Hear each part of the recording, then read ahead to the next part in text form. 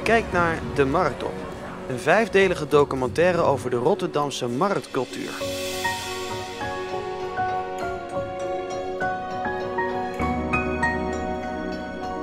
Hoe is de markt in Rotterdam ontstaan? Hoe heeft het bombardement de locaties van de markt beïnvloed? In deze aflevering gaan we terug in de tijd met Rotterdams historicus Kees Zevenbergen. We beginnen deze aflevering met de geschiedenis van de centrummarkt op de Binnenrotte. De Binnenrotte was vroeger een deel van de rivier de Rotte, waar de naam Rotterdam zijn oorsprong vindt. In 1874 werd de Binnenrotte gedempt voor het spoorwegviaduct dat Rotterdam met Dordrecht moest verbinden. In 1958 kwam naast en deels ook onder het viaduct de Centrummarkt. De Centrummarkt moest in het begin van de jaren 90 even verhuizen, omdat het viaduct, dat inmiddels 100 jaar oud was, gesloopt werd door de komst van de Willenspoortunnel. In 1993 waren de werkzaamheden afgerond en sindsdien wordt de Binnenrotte weer gebruikt voor de wekelijkse Centrummarkt. Hoe oud is de markt in Nederland? Ja, die gaat heel ver terug. De markt is van alle tijden, wordt wel eens gezegd. En Zwolle, zou me niet verwachten, maar Zwolle komt toe om de oudste warenmarkt van Nederland te hebben. Die is al gesticht in 1040. Dat is een tijdje Ja, terug al. Dat is een hoor. tijdje terug. Ja. En hier was het eh, Rotterdam, was net als de overige steden in Nederland wat, wat later. Meestal vind je dat zo in de 12e, 13e, 14e eeuw.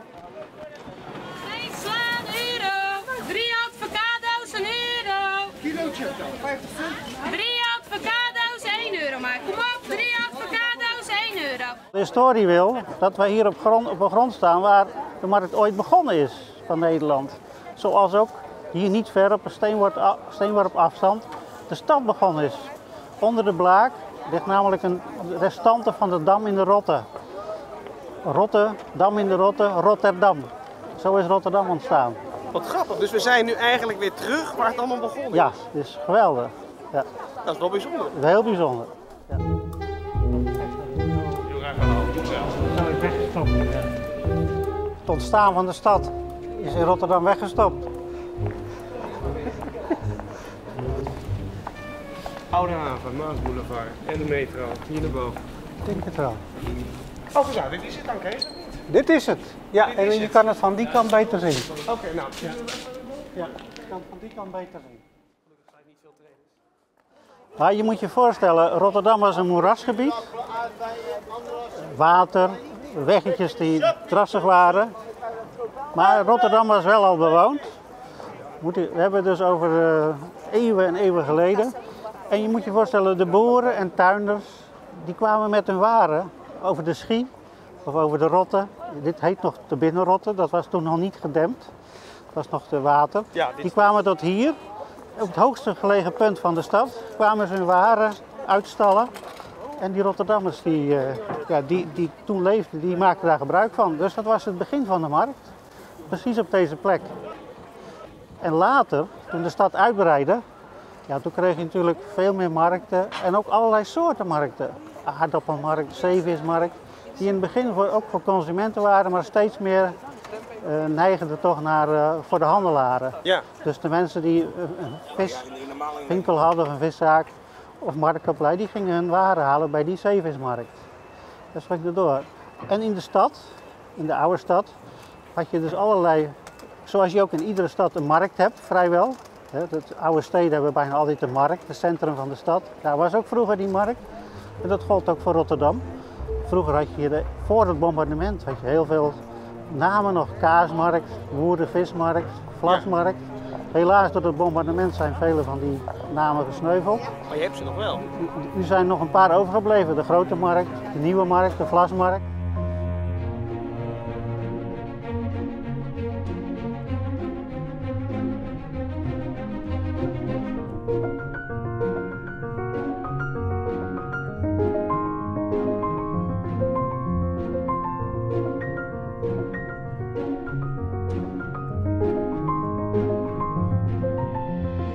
Maar de link met de oude, wat je natuurlijk in andere steden hebt, waar je direct de link hebt met de, met de handel die er toen was, die markt. Ja, dat is in Rotterdam vaak. eh, op de Vlasmarkt, ja, is wel heet wel vlasmarkt, maar daar vind je Daar is niks meer nauwelijks van te zien. niks meer van te zien.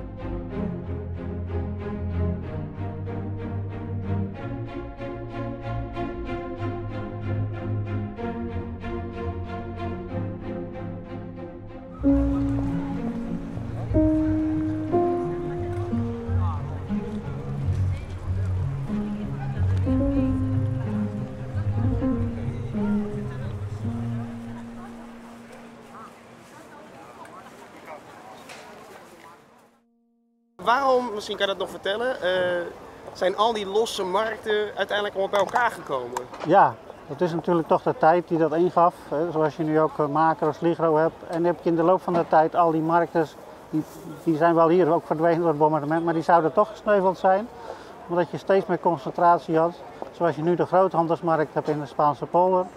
Heb je natuurlijk steeds meer dat de handelaar op één punt alles willen inkopen. Het moest, het moest gewoon efficiënter, Efficiënter, moderner ja, en dat zou ja. sowieso wel Dat gebeuren. zou sowieso gebeurd zijn. Drie mango, 1,50. Kom op. Drie mango, 1,50. Nou Kees, we zijn nu heel ver weer in de tijd, 2013, ehm, terug op de plek waar het eigenlijk allemaal begonnen is, als het ware. Hoe gaat het nu met de markt? Ja, Rotterdam is een echte marktstad. Komt misschien ook door de samenstelling van de bevolking. Veel migranten die de markt opzoeken. Maar Rotterdam heeft 14 eh, mooie markten. Deze markt aan het centrummarkt voor- die is zelfs de tweede van Nederland. De Afrikaandermarkt, ook zeer bekend bij de Rotterdammers, is de derde van Nederland. En Visserijplein in het westen van de stad is, eh, behoort ook tot de grotere van het land. En dan zijn er nog de, de weekmarkten in de wijken. Die doen het ook heel goed. En eh, ja, er zijn 1600 marktkooplui of marktondernemers zijn dus eh, op de markt werkzaam. Ja, en ik denk bij elkaar, hoeveel bezoekers? Tienduizenden zeker per week. Misschien wel een honderdduizend per week. Dus Rotterdam doet het als eh, marktstad heel erg goed. Oké, dus Rotterdam is echt een, eigenlijk wat dat betreft, als je het vergelijkt met Amsterdam, Den Haag, echt een grote marktstad van Nederland. Ja, nou Amsterdam is natuurlijk, heeft wel de naam dat ze bekende markten hebben, de Albert Kuip. Maar de weekmarkten is in Rotterdam echt eh, top. Zij het dat Den Haag, dat moeten we eerlijk zijn, die heeft dus wel nummer 1 Van Nederland. van Nederland, dat wel. Maar goed, 2 en 3 en ook Visserijplein, die behoren bij de top van, eh, van Nederland. Dus in de top 5 doen we het heel goed. Jullie wat drinken? Nou, een kopje koffie. Jullie wat drinken? Ja, Hoe lang doe je dit nou hoor? eh 17 jaar. Speel een stukje kaas. 17 jaar. En als je nou zo over de markt loopt, wat, wat, wat voel je daarbij?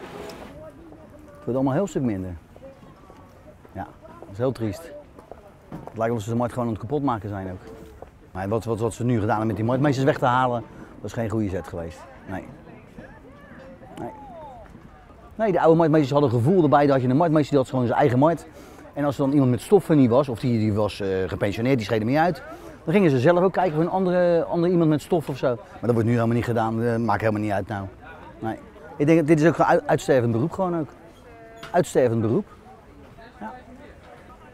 ja, de markt zal best wel blijven bestaan, maar in afgeslankte vorm. Kleiner. Minder gezellig, denk ik. En ook de samenhorigheid onder de marktgebieden zelf is ook eh, ver te zoeken.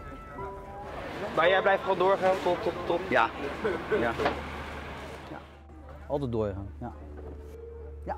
Wilco, wat drinken?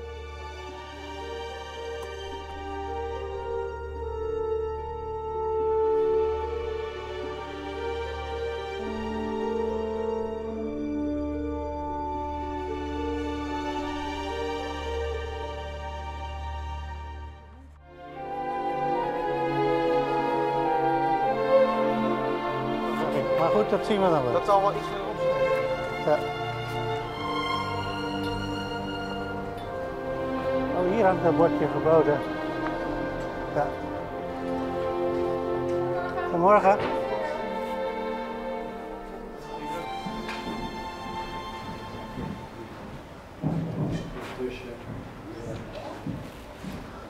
Indrukwekkend. Gigantisch, eh, Ja, gigantisch gebouw. dat is een enorm ding. Nou Kees, we staan hier natuurlijk bij de markt al. Rotterdam is natuurlijk constant in beweging en aan het veranderen. Ja, ja, de markt gaat natuurlijk daar ook een rol in spelen. ja. Je ziet maar hoe in Rotterdam de markt eh, de toekomst heeft. Want achter ons zien we de, de nieuwe markthal in Wording. Het is een eh, geweldig project. Hij wordt al de, het moet de koopkathedraal worden van Rotterdam.